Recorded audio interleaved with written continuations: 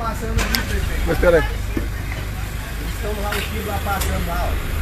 Pensei que era pra Liverpool, presidente, é comigo? A que eu estava agora há pouco era do, da seleção do Catar. Agora aqui é da Portuguesa Santista. Eu só tenho um assunto para tratar com vocês. Só um Você poderia comentar para a conversa Como é com que o foi a Franco? conversa com o Donald Trump, presidente? Só um minutinho. Os colegas estão chegando. Presidente, o senhor fez uma reunião aí, chegou o colega já? Não, É, há poucas horas é, recebi um contato do governo americano e queria falar comigo. Aí eu chamei o ministro Ernesto, o Felipe G. Martins, mais o pessoal de Itamaraty. E foi uma conversa uns 10 minutos é, que demonstra o, o mútuo respeito que existe entre Brasil e Estados Unidos. E o assunto tratado ali, o mais importante, o anúncio do presidente Donald Trump que não taxará o nosso aço, tampouco o alumínio. Foi uma boa notícia para nós. Havia essa preocupação por parte do empresariado do setor. É, eu dei meus argumentos ao presidente norte-americano, situação econômica do Brasil, questão do dólar, e ele aceitou os nossos, é, as nossas é, ponderações e anunciou que não taxaria o, o aço, nem tampouco o alumínio.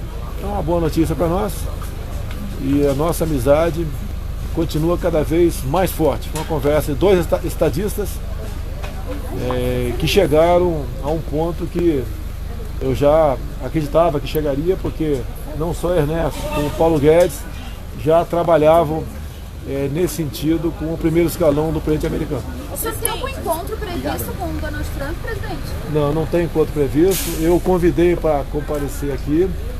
Ele falou que após as eleições do ano que vem, será um dos primeiros países a ser visitados. É, talvez eu vá aos Estados Unidos é, no começo do ano que vem, existe essa possibilidade. Há um pool de empresários americanos que queriam me ouvir juntamente com a equipe econômica, que vai ser intermediado por um senador, Woodstock, da Flórida. E isso só demonstra cada vez mais a, a volta da confiança eh, no Brasil e as nossas relações bilaterais, que até há pouco eh, não eram eh, levadas a sério e sempre os governos americanos, exceto sempre os governos brasileiros, exceto o Temer, eh, sempre criticavam o americano como se eles fossem ali os imperialistas, os inimigos eh, do progresso do Brasil. Isso não é verdade. Eles estão muito felizes conosco, nós também com eles. E não só com eles, né? nós estamos viajando o mundo todo e o mundo está realmente com outros olhos para o Brasil. Vocês trataram sobre outro tempo, outros um momentinho. Queria saber como é que foi esse, esse tempo, porque já foi, quando o presidente Trump falou sobre a suposta taxa- taxação, é, demorou um tempo. Como é que foi esse período de negociação até essa conversa com, com ele Aí, hoje? aí é, aí é conversa de estadistas. Se houve telefonema meu e dele antes ou não houve, é, isso aí é reservado. E faz parte, da, faz parte da minha formação e da minha situação de estadista pela República, é, não tornar público o que nós conversamos lá atrás. Ou melhor, que o que porventura temos conversado lá atrás. Um prazo, questão. presidente, até quando prometeu não será sobretaxado? Essa medida é aplicada imediatamente? Mas o, o aço, ele anunciou a sobretaxa, tem mais ou menos 30 dias, né? Ou 20 dias, e não foi sobretaxado. É, nesse ínterim, o Ernesto, o Paulo Guedes é, conversaram com autoridades americanas é, para demovê-los dessa possibilidade, é, falando é, que economicamente não seria bom para o Brasil, obviamente, e também poderia, poderia, né, é, dar uma sinalização que politicamente é, estaria estremecido nosso relacionamento. Nunca esteve, muito pelo contrário. Tanto é que vocês não viram nenhuma manifestação minha quando anunciou a, anunciou a, sobretaxa e nós tratamos eh, de forma diplomática, eh, com, com muito respeito, eh, essa questão que é muito, muito cara para nós brasileiros. Presidente, então esses foram esses dois, esses foram esses dois argumentos. A quais foram os principais argumentos que o senhor disse que o convenceu a não sobretaxar? Olha, quando eu converso com ele, desde a primeira vez, parece que é mais do que dois chefes de Estado. É, nós temos muita liberdade é, para expor os nossos problemas. Não foi diferente agora esse contato é, com ele. Então, o argumento que eu usei e que ele sensibilizou com toda certeza faz parte da nossa estratégia. E me desculpa, eu vou ficar devendo para vocês. Presidente, hoje não vai mais à Antártida, né, presidente? Não, não, não. Só, estou para falar sobre aço e alumínio aqui, mais nada. Presidente, o senhor não vai mais à Antártida, né? Algum motivo Não, não, não. É, é recomendação médica ainda. Eu tenho uma viagem longa é, para Davos e vou emendar com a ida à Índia. Talvez é, visita- visitemos mais um país. E não sei, não posso garantir para você. tá? O senhor É ali escolheu um que. representante para ir para a Antártica, no seu lugar? Oi? O senhor escolheu um representante para ir na Não, não, isso aí é uma viagem, não é. é uma viagem de quase que de rotina, né?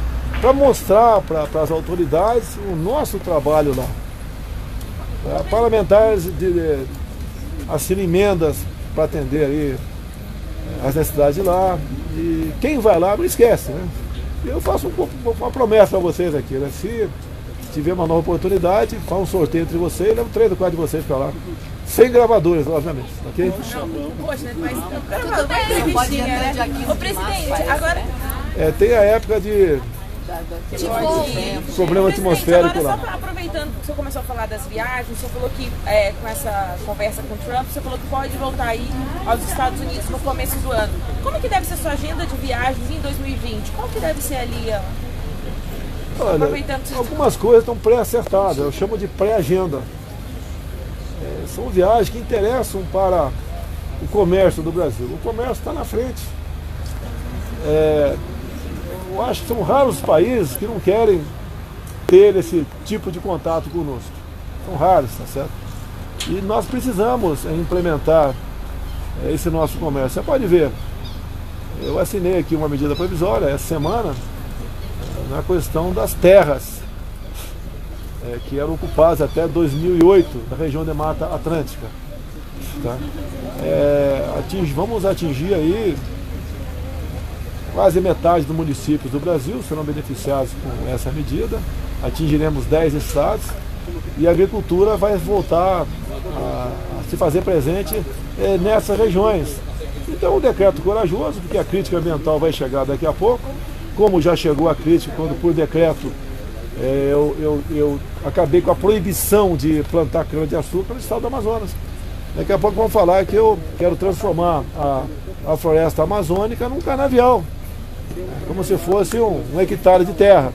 Ah, basta lembrar que o bioma amazônico é maior do que a Europa ocidental. tá? E menos de 3% do bioma amazônico é usado para agricultura ou pecuária, sendo que parte disso, a maior parte disso, está no estado de Mato Grosso. Agora, nós não podemos é, abandonar mais de 20 milhões de pessoas que vivem na região amazônica. São seres humanos, muitos índios, é, que têm o direito é, de evoluir, buscar o seu sustento, produzir e serem úteis para o seu país. Afinal de contas, pessoal, aquela região é muito rica. Se nós abandonarmos, mais cedo ou mais tarde, poderemos ter novos países lá, que nasceriam dessas grandes reservas indígenas. E depois que isso vier a acontecer, não se pode fazer mais nada. tá? Então, é, essa é a nossa preocupação, esse é o nosso trabalho. Não posso me preocupar, está bem perante a opinião pública, que toda adesão que eu tomo, sempre tem gente que critica. Olha um exemplo simples aí. A Câmara aprovou um projeto criando é, em cada escola do Brasil, né, pública, o cargo de um psicólogo e um assistente social. São 400 mil empregos. A Câmara não apontou a fonte de quem vai pagar isso aí. Ou criação de outro imposto, ou de onde viria esse recurso. Eu sou obrigado a vetar por questão de não incorrer na lei de responsabilidade fiscal. Vetei, levei pancada dos psicólogos. O Congresso derrubou o veto. O que, que vai acontecer agora? A Advocacia Geral da União vai entrar com uma DIN no Supremo. Eu não estou perseguindo psicólogos. Não dá para criar 400 mil cargos no Brasil. Isso dá mais de um bilhão por mês. Não tem recurso para isso. É problema então que a gente enfrenta, vai continuar enfrentando. é, eu não posso me preocupar com a minha popularidade, senão o Brasil é que pede se eu quiser sempre aparecer bem na fita. O cargo que eu exerço é, tem o ônus e tem o bônus. Presidente, o Trump fez algum pedido de contrapartida em algum Não. outro. Olha, eu, eu pedi para você semana passada pesquisar. Eu acho que o PIB deles é 40 vezes maior do que o nosso, não tenho certeza, tá? Há uma diferença enorme entre nós e eles. É quase que a diferença nossa para o Paraguai. Você pode ver a questão do Paraguai. O contrato lá da Itaipu com o governo paraguaio. É, nós é, fizemos um novo acordo.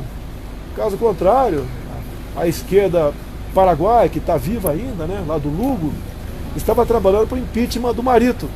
Então nós recuamos, mantivemos o contrato anterior por mais algum tempo e evitamos um problema político dentro do Paraguai. É, aqui não teríamos um problema político com a questão do, do aço e do alumínio, mas seria uma sinalização política não boa do americano para conosco. Eu acho que esse foi o entendimento maior, entre outros argumentos que eu levei para o Trump, que eu já falei para vocês que vai além é, de um contato entre dois estadistas. Eu tenho muita liberdade para conversar com ele sobre qualquer assunto. E ele me trata muito bem, me trata muito bem. E ele sabe que pode contar aqui na América do Sul com um grande parceiro que vai atender, sim, no que nós pudermos fazer, o interesse dos nossos povos. Presidente, sobre. É lógico, conversei, mas não, não é o caso o conversar seu com vocês. radar agora é Davos e depois Índia. Uruguai. É, era o- logo no, é, emendado. Acho que se não me engano, dois dias depois. O que que, o, o que, que o, a Índia faz? A- todo ano, a data da, da república deles, né? A data mais importante, eles convidam apenas um chefe de Estado. Eu tive a honra de ser convidado e aceitei. Estou ansioso por esse momento. A Índia está na casa de 1 bilhão e 300 milhões de habitantes. É um mercado enorme.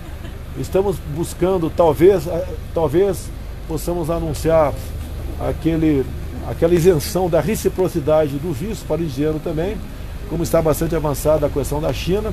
São países que têm seus ricos lá. E nós queremos que as pessoas venham gastar seu dinheiro aqui, visitando o nosso país. em Davos tem, tem negociação já de encontros bilaterais? Ah, tem várias. É, o Brasil está numa situação ímpar, graças à equipe que nós escolhemos, do Itamaraty, econômica, entre outros, né? agricultura, é, o Brasil ficou atrativo para todos eles. Quando tivemos aqui na, nos Emirados Árabes, no Catar, na Arábia Saudita, a grande preocupação deles é a segurança alimentar. E você deve diversificar os seus fornecedores. Se tiver problema com um, você não sofre muito o seu país. E eles, é, acordos assinamos lá. O nosso mercado está aberto, alguma- algumas coisas já estão sendo implementadas e ganha o Brasil. E, o, e a- e a- o grande indutor aqui da nossa economia é o agronegócio. É tão criticado né, por alguns da cidade. Aquela velha máxima, né? É, destrua a cidade e mantenha o campo, que elas ressurgirão. Né? Depois E daí- depois, E deixa, eu aí- deixa eu comentar, por favor. Destrua o campo e mantenha as cidades, que essas sucumbirão. Essa é uma máxima, é simples. A história, nós temos que fazer de tudo para que isso não se repita. A questão indígena, vocês sabem disso, já me ouviram falar várias vezes aqui. É, o problema com o presidente francês foi que na nossa conversa a sinalização dele que ele gostaria, né, já estava previsto, se fosse um outro presidente qualquer depois de mim, é, passar de 14% para 20% a quantidade de terra demarcada pra, como terra indígena no Brasil. Você simplesmente sufocaria o nosso negócio. Nós temos dificuldade, estamos com problema de, de construir um linhão de Tucuruí, de Manaus a Boa Vista. Isso vai nos custar esse ano, né? Quase 2 bilhões de reais que todo mundo vai pagar. Porque o leão passa por cima de uma terra indígena. E a negociação não é fácil, não pelos índios.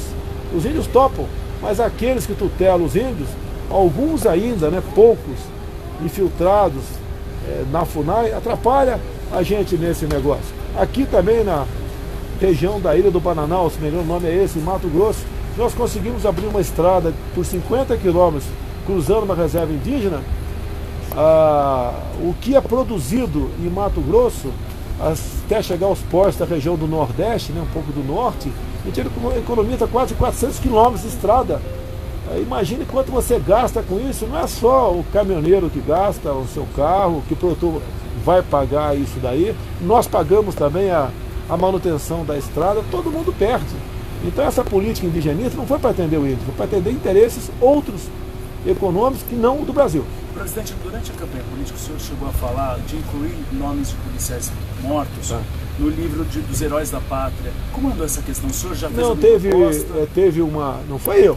Isso aí veio do ministro, a ideia foi muito boa, foi sendo estudada, e chegou seu momento que a adesão passou por mim. Vamos deixar para o ano que vem, é igual a reforma administrativa. Deixar para o ano que vem, é, porque nós devemos ter aqui o, um monumento aí ao, ao soldado desconhecido aqui em Brasília. Sempre quando eu viajo o mundo todo, a gente vai lá e deposita uma coberta de flores né, nessa situação. Acredito que esse movimento, esse, esses, esses monumentos devem ser estaduais e se tivessem aqui em Brasília, se vier a ter, sem nome dos militares mortos, mas como uma homenagem aos policiais militares que e devia ampliar também, PRF, PF, Polícia Civil, etc. Em homenagem a essas pessoas que morrem defendendo a nossa vida e muitas vezes o nosso patrimônio. Ô, presidente, tem alguma ali no radar do senhor, um encontro com Boris Johnson? Algum- É, gostaria, eu gostaria, mas não entrou no, esse não entrou no radar ainda não, mas gostaria. Presidente, só uma pergunta. Os parlamentares vêm reclamando muito do- dos vetos do senhor. É, o senhor teme de alguma maneira que o Congresso passe a aprovar propostas populares que não caibam do orçamento, que obrigariam o senhor a vetá-las para desgastar o senhor? Olha, eu tenho que acreditar na responsabilidade do parlamento. É, muitas vezes eu, como parlamentar, vi líder encaminhando projetos, né? Sim. E depois procurar o presidente para vetar, porque não queria se desgastar perante o seu eleitorado lá. Então o desgaste cairia no colo, caía no colo é, do presidente da República. É como eu disse no começo, eu não posso estar preocupado com a minha popularidade. Eu tenho que fazer aquilo que eu acho que está certo. É, eu falei para você sobre o fundão, 2 bilhões de reais. Não foi eu quem propus. A lei eleitoral, que diz que a cada dois anos o fundo tem que ser o anterior mais a correção monetária. Igual teve um deputado de São Paulo, esqueci? Samuel Moreira, por exemplo, fez um vídeo né, dizendo que ele é ético, eu não sou, porque eu apresentei, eu apresentei a, a proposta de 2 bilhões. Eu cumpri a lei. Tá? Agora o Samuel Moreira, o ano passado foi votado um aumento do fundo, desse fundo especial partidário aí, né, para fim de publicidade eleitoral aí. Ele votou favorável. Passou de 30% para 100% é, o equivalente às emendas é, impositivas é, de bancada. E mais ainda, nas eleições, Samuel Moreira, pelo amor de Deus, né? Nas eleições do ano passado, você pegou um milhão de reais desse fundo. E agora vai lá, faz um vídeo me acusando. Presidente, Eu não quero brigar com o parlamento. O veto faz parte é, do processo né, é, legislativo. Faz parte. E eu veto muitas vezes, porque é, tem o veto, basicamente, tem que, tem que seguir. Eu não posso criar despesa, seria irresponsabilidade minha convalidar a despesa votando ou, ou ignorando mandamentos constitucional. E, e a última palavra não é minha, é do parlamento. Se derruba não o veto. Presidente, sobre o fundo eleitoral, ontem na live o senhor comentou que deve sancionar mesmo. Só para confirmar, o senhor vai É, sancionar? o que deve acontecer é o seguinte, está sendo estudado lá. A nossa SAGE, né, assessoria jurídica, é, bem como a Advocacia Geral de União, vou também, o, o VAG na, na, na CGU também, é, pedir um parecer deles é, das consequências jurídicas de um possível veto meu. Se não tiver consequência jurídica, a tendência minha é vetar. Se bem que o Rodrigo Maia falou agora, há pouco, posso ficar tranquilo, mas poxa, ele, eu sei que ele é o chefe de um poder, é monocrática a decisão do impeachment, sei disso, mas ele pode sofrer pressão, assim como eu posso sofrer pressão. Não, ô, presidente, ontem o senhor falou também sobre os radares que o senhor ia pedir para o Ministério da Justiça usar fotografias educativas. Como, o senhor tem ideia já de como isso vai funcionar na prática? Porque Olha, está passando. A multa educativa está prevista no Código de Trânsito. A gravíssima não. Então, por exemplo, quem passa acima de 20% é, em- do, do limite permitido dentro da local, multa pode ser educativa. Acima de 40 não. Eu não tenho esse poder discricionário mais. Onde Mas o objetivo da multa, tanto é que os, parda- os radares fixos, tá certo?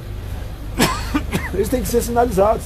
Não pode o radar móvel servir de pegadinha atrás de uma árvore, naquele ponto estratégico. Porque o cara que recebe a multa ali, chega a dois mil reais, você esculhamba a vida econômica daquele cara. Esculhamba. Poucos podem pagar essa multa. E o objetivo não é educar da forma como está sendo utilizado. Eu lamento uma decisão judicial, mais uma interferindo no ato do executivo. Onde puder, puder usar o educativo, então vai Sim, ser usado. vai ser no usado. limite que for. É desse, já passei essa orientação para o ministro da Justiça que, que está a seu comando o diretor-geral da PRF. Presidente, só para tirar uma dúvida, não sobre o conteúdo, mas o senhor assinou, deve assinar um indulto agora ou deve ficar para a semana que vem? Olha, eu gostaria de ter assinado hoje. tá? E nós vamos a, ter um capítulo especial para, para os policiais militares. É, você vê, tem policial condenado por excesso. O, o excesso, acima de dois tiros, o juiz pode agravar a sua pena. Tá certo? Agora, eu não passei por uma situação como essa, tenho a minha experiência militar de tempo de paz, conheço policiais militares no Rio, já parei no meio deles, sabe de Deus, foi ano passado, meio tiroteio, fiquei lá do lado da viatura ali, vendo bala passar por cima, durante o dia. Imagine uma tensão à noite, um traficante morre com mais de dois tiros. O juiz pode condená-lo por excesso, então eu quero entrar lá. Vou dar uma dica para vocês. Eu tenho um projeto dizendo da excludente de licitude em, em GLO. O que, que, eu, de- que eu determinei, a SAGE, o que for possível enquadrar no meu projeto, o decreto de indulto, enquadre. Não estou preocupado. Caso Amarildo, né? o major não se enquadra do caso Amarildo porque ele foi condenado também por tortura. E olha o absurdo, ele não estava na operação. Como é que eu posso torturar alguém lá do outro lado do lago se eu estou aqui? Usaram um termo técnico, então ele não pode se enquadrar nisso. E, infelizmente, são- eu assinaria o indulto do major. O caso Eldorado dos Carajás, Coronel Pantoja, se não me engano foi 90 e pouco, né? o caso lá. Ele não estava na operação, estava no quartel. A tropa foi. A tropa foi acuada, foi perseguida, seriam mortos. É só ver a imagem, a imagem está ali. Assim mesmo a imprensa diz que foi um, um ato bárbaro para os policiais. O coronel Pantoja, não estando na operação, ele mandou a sua tropa desobstruir uma estrada. Ele pegou 200 anos de cadeia por pressão na mídia. Isso é justo? Se eu puder indultar o coronel Pantoja, eu vou indultá-lo, vou levar pancada, vou, eu conheço a imprensa brasileira. Mas eu vou dormir em paz com a minha consciência. Então, por esses estudos deve ficar para a semana que vem, senhor Eu não posso dizer, pode ser que eu marquei uma outra reunião segunda-feira. Eu vou te dar a dica, dia 27 eu vou para Tacetinha agora, Bahia. Volto dia 5. Se não tiver algo, porque eu não quero ser contestado no Supremo. Não adianta apresentar o decreto muito bonito, o pessoal bate palma e depois fica no Supremo. Não quero isso aí. O senhor vai, o senhor vai assinar o anticrime antes da sua viagem? Olha, tem três pontos, dos vários, né?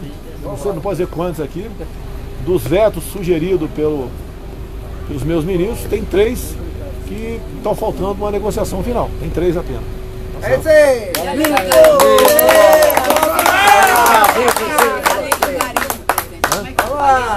Está pronto. 38 outra Tá excelente. No meu entendimento, está excelente a proposta, mas passa pelo parlamento. Eu quero que o índio tenha o mesmo direito de você, fazendeira, do lado. Eu quero só isso aí, mais nada. O índio é um ser humano igual a nós. E o senhor pode falar um pouquinho da agenda da semana que vem antes do Natal? Quando é que é? Dia 27, que é que dia da semana? Sexta. Sexta. Bem, tem o 24 e 25 que eu vou. Vou ficar namorando aqui. E curtindo a dona Laura aí. Então, segunda e terça, ou eu fico despachando aqui ou vou pra lá. Presidente, agora alguns. O presidente da Câmara chamou os jornalistas setoristas pro café. O Senado também. Você não vai chamar a gente aqui? Café. É verdade. Café para você fazer um balanço do ano? chamou. Ministro Paulo Guedes, da- ministro da AGU, só falta o senhor agora. Querem chupar uma manga comigo amanhã aqui? Tem manga sobrando aí. Chupa essa manga! Vocês vão, chupar, vocês vão chupar essa manga? Mas estaremos todos aqui Mas amanhã. Se o senhor quiser fazer chamar, a um, pra gente fazer um vai. balanço do primeiro ano. Pô, balança, você já tem conhecimento. Graças a Deus a economia tá, não tem governo que dê excesso, a economia indo bem, está indo bem. Você já sabe, a taxa de juros 4,5. Segundo o Roberto Campos, isso vai representar o ano que vem menos 110 bilhões de reais. Tá? Nós esse ano pagamos mais de um bilhão por dia de juros. É a mesma coisa, um pobre, por é exemplo, que ganha dois mil por mês, que deve um mil reais para por todo mês tem que pagar. É difícil sobreviver assim. Nós conseguimos é, tirar ah, essa, essa, essa questão nossa econômica né, da descendência. Está estabilizado. É, o Roberto Campos é uma pessoa excepcional. Você pode ver o, o, o próprio Pedro Guimarães da Caixa, como é que está o cheque especial lá? Se me engano, está 5%. Sem, eu, eu poderia interferir, mas sem interferência minha, zero. E ele ganhou nos últimos 45 dias mais um milhão de clientes. Os bancos começaram a seguir. A decisão do Banco Central de passar para 8% a partir de janeiro não foi o Roberto Campos que ah, acordou e falou, ah, vou baixar para 8%. Não, teve reunião com o CVM, com os banqueiros. E eles foram obrigados a ceder por quê? Vão perder cliente pro, pro, pro nosso Pedro Guimarães, da Caixa Econômica Federal. Você vê a questão de combustível, o pessoal reclama. Com razão, mas o pessoal tem que ver que a parte mais que mais pesa na gasolina é o ICMS. Estamos buscando quebrar monopólios também para ter a livre concorrência no Brasil. Preço da carne, alguns querem que eu tabele a carne, eu quero tabelar a lagosta, o que vocês acham aí? Lagosta a 10 real. Acham bom, não? É ótimo. Camarão 5 real. Cerveja 50 centavos, tá bom? não? Então é livre mercado, pessoal. Não tem tabelamento, não tem subsídio do governo. Já baixou a arroba da carne. povo que tem que tabelar. Tabela o ovo? O povo. Presidente, é, queria falar sobre o caso Adélio. Na entrevista que foi concedida à revista Veja, é, pela- apareceu um elemento diferente na sua declaração, que seria a participação de ex-assessores ou ex-aliados do senhor. O que exatamente é isso? Eu queria confirmar a declaração do senhor. Eu tive com a Veja, foi segunda-feira, se eu não me engano. Foi segunda-feira cada Veja. Eu fiquei de 8 da manhã. Foi sábado? Foi sábado, desculpa aqui, foi sábado. Fiquei de 8 da manhã que chegou aí, até mais ou menos 2 da tarde. Almoçaram peixe comigo, inclusive. Pescado pelo. Pelo. Quem pescou peixe mesmo? O. Pre- Prenda Embratu que pescou o peixe aí. O Gilson Machado. Então, pouca coisa foi tratado além da minha vida aqui, meu dia a dia. Não li entrevista da Veja ainda, está tudo gravado. Certo? O que eu falei é o seguinte para eles, né? Sei lá, 70, 80% de chance de ser geralmente alguém da esquerda, né? Até pela, pela, pela filiação político-partidária do Haddad. 15 ou 20% a chance de alguém do meu lado, porque eu tive uma, uma vida bastante tribulada para escolher o vice. Ah, quem era? Não tem nome. Não suspeito apenas. certo? E 5, 10% outras causas. É isso que eu falei. Eu não sou radical como a esquerda é, né? Ah, o Bolsonaro conversou com, o pessoal aí que fez a Marielle na- no dia 14 de março, quarta-feira ano passado. Não sou radical esse ponto aí. né? É, eu gosto, muito obrigado pela pergunta, né? Realmente, eu acho que todos nós queremos saber quem é que mandou a Adélio dar facada em mim. Assim como, eu acho que vocês querem saber também, que foi mataram um colega de vocês. Mataram o Santiago, colega de vocês, naquele episódio na Central do Brasil, de um foguete que, que pegou na nuca dele. Imediatamente apareceram dois advogados. Imediatamente. Igual ao meu caso, apareceram três ou quatro imediatamente. Então é sinal que quando se programa um ato como esse, né, criminoso como esse, eles se preparam e cada errado com proceder. Que o ideal para, para quem mandou me matar, o caso dela, é que ele fosse linchado lá. Se fosse um comício do PT, que o Lula tivesse levado a facada, ou a Dilma, o Haddad, com toda certeza esse cara seria linchado. É como o pessoal que me acompanha é educado, certo? Isso não veio acontecer lá em Juiz de Fora. Presidente, outra coisa que não ficou claro para mim, quando o senhor fala dessa chance, 70, o senhor tem alguma informação é, diferente? Teve nesse tempo, teve uma informação nova que ah, nessa, nas investigações o senhor incluir agora um, a possibilidade de um ex-aliado? Olha, a minha, a minha vida, você deve conhecer. Eu converso com todo mundo. Sempre foi assim, sempre foi assim. Então, informações chegam, a gente filtra muita coisa, e vai fazendo um juízo de valor. O que chega amanhã, eu passo para aquele direito que está apurando é, o fato, né? Mas eu não posso bater o martelo, não vou ser inconsequente de, de acusar A, B ou C é, desse ato. Tanto é que eu não falei nome de ninguém, ninguém, zero. E teve um cara aí que já está achando que vai processar, inclusive. O senhor hoje se reuniu com o advogado Casadelli. Oi. Vocês pensam em trazer algo novo para esse caso? Bom, basicamente o trabalho dele não é investigação. Né? O caso dele, ele está empenhado é porque tem uma ação e nós gostaríamos muito que o telefone de um dos advogados é, tivesse o sigilo quebrado. A OAB desse cidadão aí que falou que quem, quem é meu apoiador não tem caráter, tá certo? Eu não vou falar do paizinho dele aqui não de novo, para não criar polêmica. Eu conheço, conheci o paizinho dele, tá? Ele tem o mesmo caráter do pai dele. É, porque até porque agora, né, o que a Polícia Federal quer não é nada além de as ligações que o Adélio fez ou recebeu. Só isso, mais nada. Que com os números ali, se vai ter a certeza que não foi um ato isolado do Adélio.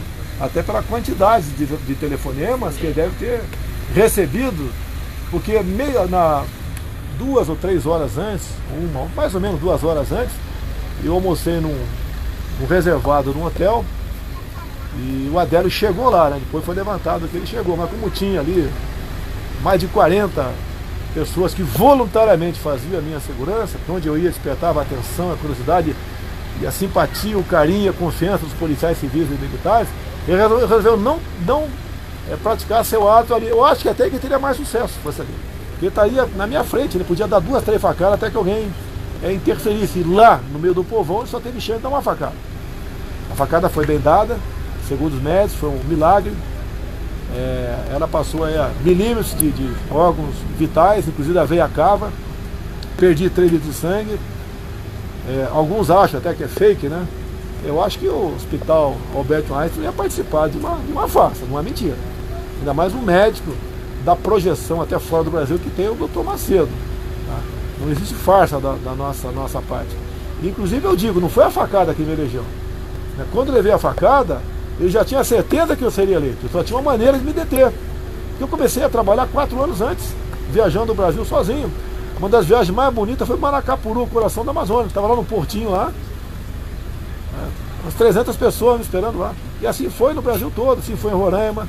Local onde sempre foi desprezado pelos candidatos, porque não tem densidade eleitoral. Assim foi em Rondônia, eh, foi no Acre, Mato Grosso do Nós Sul. trabalhamos de graça. E o povo trabalhou de graça para mim. Daí me acusam de. Me acusam de pagar aí robôs, né? Criar robôs. 20 mil. Olha, tem uma pessoa de São Paulo aí, sexo feminino, tá? que ela vai ter uma surpresa é, brevemente nessa questão de contratar e criar robôs. Tá certo? Eu estou me segurando o máximo possível, porque eu quero que tudo acabe em paz. Não procede essa acusação que eu me elegi em cima de fake news. Até porque, para você derrotar o PT, você tem que falar a verdade, só fizeram besteira. Isso aí, Bolsonaro. Se eu fosse mentir, eu ia falar que eles não roubaram a Petrobras, não roubaram o fundo de pensão. Eu não falei ninguém, como assim como Casadela, você que está entendendo, né? Tá certo? Tá certo? Então o pessoal tem que entender, então esse pessoal que tem rabo bastante grande, tá? E ele não tem nada a ganhar com isso. A pior coisa que tem na vida é a ingratidão. Pior. 95% dos que se elegeram não, seriam, não teriam sucesso se tivesse colado o nome comigo. Teve até petista que fez matéria de campanha comigo, sem eu saber, obviamente. Isso é verdade. Chegaram. Uma vez chegando, os poderes subiu a cabeça. É, Alguns achavam que, que podiam ser prefeito numa boa, etc, etc, etc. E não é assim. Eu esperei 20 tem um- Teve um cara da Bíblia aí que esperou 14 anos para se casar com a, com a amada dele, não foi? 14 anos. 7 mais 7. É muito amor, né? Eu esperei 28 anos pro momento meu. E podíamos ter dado certo. Tem pessoas que acham, são imediatistas. Não dá certo. Eu costumo muito levar para a vida pessoal, né? Quando você está apaixonado por alguém, chega devagar, pô. Se chegar de sola, vai fugir, pô. Presidente, uma pergunta. 48 senadores são completamente contrários ao projeto que o senhor enviou sobre a privatização da Eletrobras. Queria saber se o senhor avalia enviar um novo texto para ver se Olha, o Congresso aprova. Vamos lá para a verdade. É, se nós não aprovarmos esse texto, vai entrar em colapso o sistema elétrico brasileiro. Não temos, se eu não me engano, 18, se eu não me engano, 18 bilhões de reais para manter o sistema funcionando. Não temos, vai entrar em colapso.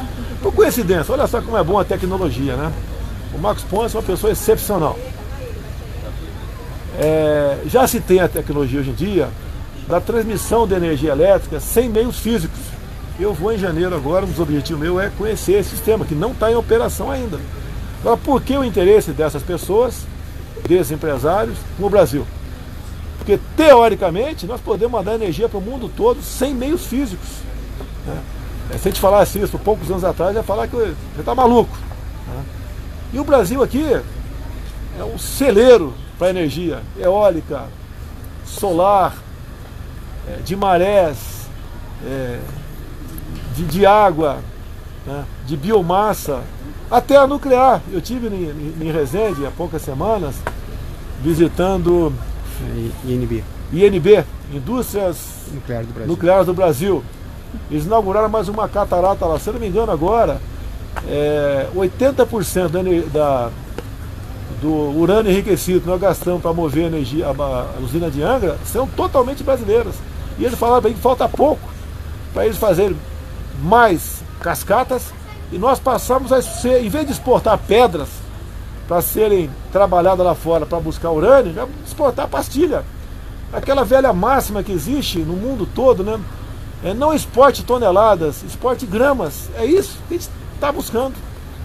Esse que tem que ter parcerias para isso aí. Somos dos poucos países do mundo, talvez 10, que, que, que tem essa tecnologia para fabricar as pastilhas é, de urânio que move usinas no mundo todo. Presidente, então amanhã a gente come manga lá dentro? Come não, fala, fala, chupa. chupa. Você vai chupar amanhã? Manga ou não? Pode marcar, você vai estar aqui amanhã? Separação de vida particular, quer dar um passeio de. Fico duas horas andando com vocês aqui embaixo. Eu quero ver tu chupar manga, tirar uma foto e botar você chupando manga. Tá Nove horas, tá bom? Nove horas, Nossa. tá bom. Nove horas todos nós aqui. Sem, esse, sem essa urubuzada aqui atrás, aqui, ó. Essa urubuzada aqui, ó. que horas que é o jogo do Flamengo amanhã? Duas e meia. Então, Flamengo no coração. Até a portuguesa Santista aqui tá torcendo pro Flamengo. De onde é essa camisa aqui? Abre só um pouquinho. De onde é essa camisa aqui? O Catar. Eu tive lá, o rei me ir, confesso, mas teria que usar um avião da Força Aérea e não podemos dar esse exemplo, né, gastar meios aqui para ver um jogo de futebol. Agora, já adianto para vocês, eu espero que o Flamengo seja campeão. A diretoria já sabe, a, o nosso comandante Bermudo já sabe, em sendo campeão, nos pênaltis. É, nós interceptaremos o, o voo é, que trará aqui, se Deus quiser, o, os campeões, não do Flamengo, os campeões brasileiros. É isso aí, Bolsonaro! Mito! E esse pessoal aqui, qual a pergunta para a imprensa aí? Nióbio. Nióbio. Nós temos aqui, o Marcos Pontes já criou aqui laboratórios sobre isso aí. É, outros países têm conversado conosco. Você sabe que a China tem um interesse muito grande. Nós temos nióbio em Araxá, tem catalão aqui em Goiás e temos na região dos Seis Lagos também. Tá? É, a aplicação do nióbio, inclusive, é, comprovei agora, conversando com, com pesquisadores é, dessa área, é uma, uma coisa simples, é vidro inteligente. O que é vidro inteligente? Né? É, os prédios podem, de acordo com a quantidade de nióbio no vidro e com o chip do lado, ele calcula quanto de, de luz ou calor entra no prédio. Imagine a economia. Fios de nióbio para cabos de, de elevador. É fio, um fio de um barbante é, equivale a um, a um fio de aço de uma polegada. Imagine quanto você economiza não tendo que levantar né, toneladas de fio de aço de acordo com, com, quantidade de andares. Né? É coisa até absurda. Né? Tem um país aí que está pulverizando as amoreiras com, com grafeno.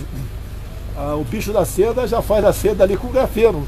Tá isso, não digo isso, mas o grafeno está sendo já já está bastante avançado, tem até o exército pesquisa isso já há algum tempo na Mackenzie, blindagem de, de carros de combate é, com grafeno são eles são mais resistentes aos impactos e bem mais leve. Um carro aqui blindado pesa mais ou menos mais de 200 quilos. Você pode fazer com 15, 20 quilos. Imagine a economia de energia para movimentar um carro é, dessa forma. Agora, a coqueluche, né? a cereja do bolo, é a liga nióbio, grafeno para super baterias. Já tem algumas já que estão em fase de teste. Em seis minutos tu recarrega a bateria de um carro e ele ganha uma autonomia mais de 400 quilômetros. Até digo para vocês, olha só, quando a gente vê o mundo árabe preocupado em fazer negócio no mundo todo, os mais variados possíveis, estou adiantando, conversando com o Rodrigo Maia, de fazer uma Cancún na Baía de Angra. Dependemos de revogar um decreto, mas decreto ambiental, quem revoga é uma lei. Tá? Ele sabe que se isso chegar no mercado, o preço do petróleo vai lá para baixo, descamba. Isso vai chegar. O homem tem uma capacidade enorme de, de, de inventar as coisas. E o brasileiro está nesse meio. Não tem invento no mundo que não tenha um brasileiro metido lá. Se puder responder.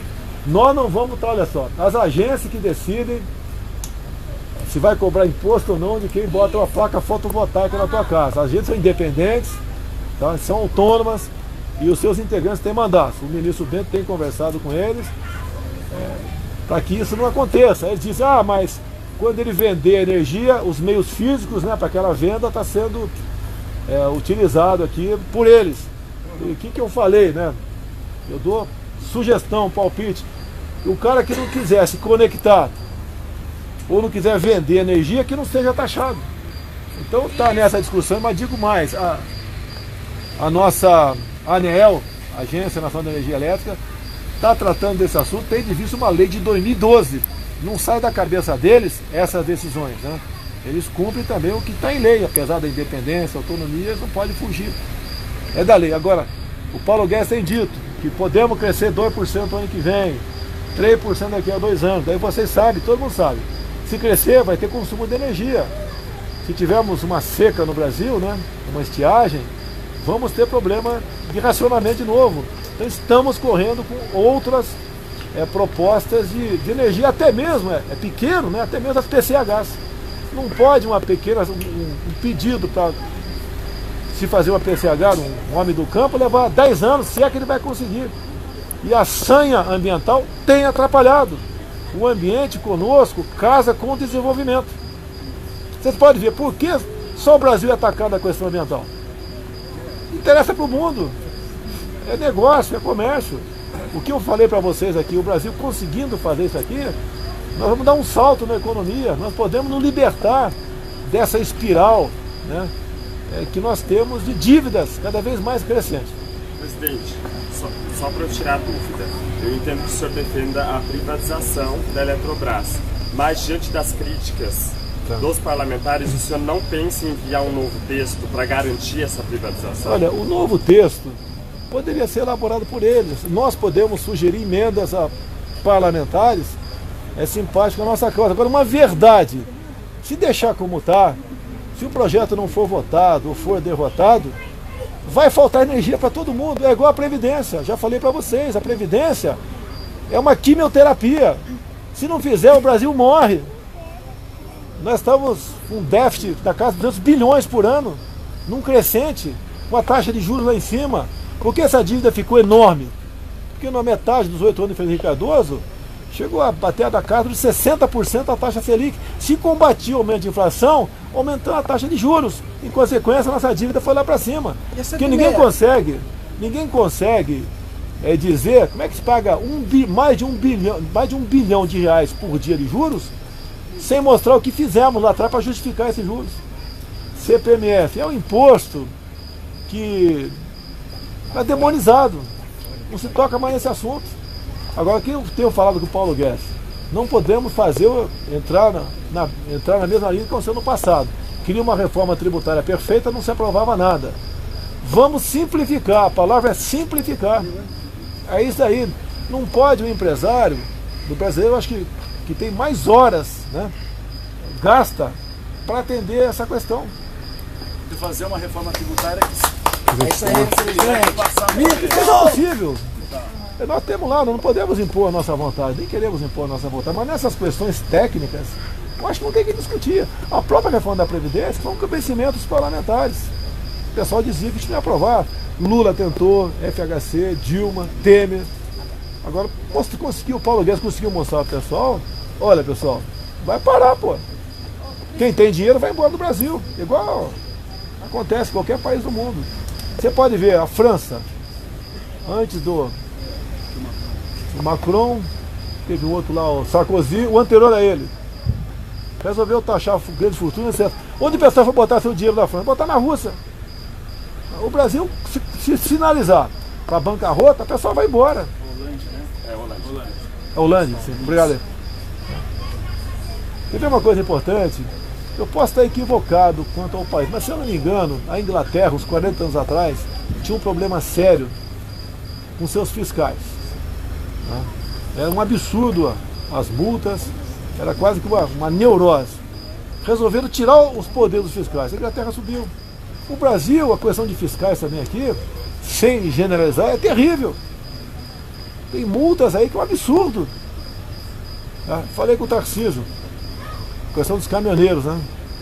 Então assim chegou meu conhecimento aqui, multa em balança chega a 5 mil reais. Certo? Olha, o cara que pega uma, um caminhoneiro que pega uma multa de 5 mil reais, ele vai ter que vender o caminhão dele. Ou vai ter que fugir da polícia. Tá? E ele falou, presidente, já tomei a providência. A multa não pode realmente ser exorbitante, tem que ter, mas não dessa forma. Ele diminuiu por. Passou a ser 10%, passou a ser 500 reais. Então a questão do campo, né? eu vejo aí de vez em quando aí, é, o cara resolveu fazer um, uma pequena, uma, não é represa num rio, né? fazer um açude, dá lá um quarto de, de hectare. Vai lá alguém do CMBio, do Ibama, mete uma multa de um milhão de reais no cara, o cara nunca vai se arrumar na vida. Vai ter que vender a terra dele, isso não é, isso é um crime. E dá margem para pensar que aquela multa é exorbitante por outros interesses.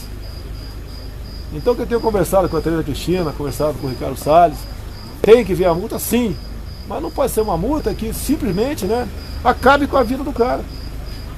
Bolsonaro, em 2022, firme? Tem muito tempo ainda. Não, começa a trabalhar mais cedo. Já está Você começou- Tá, foi, pessoal? Ó, Eu vim de graça e vou trabalhar de graça. Até amanhã às nove. Daqui a nove, nove horas?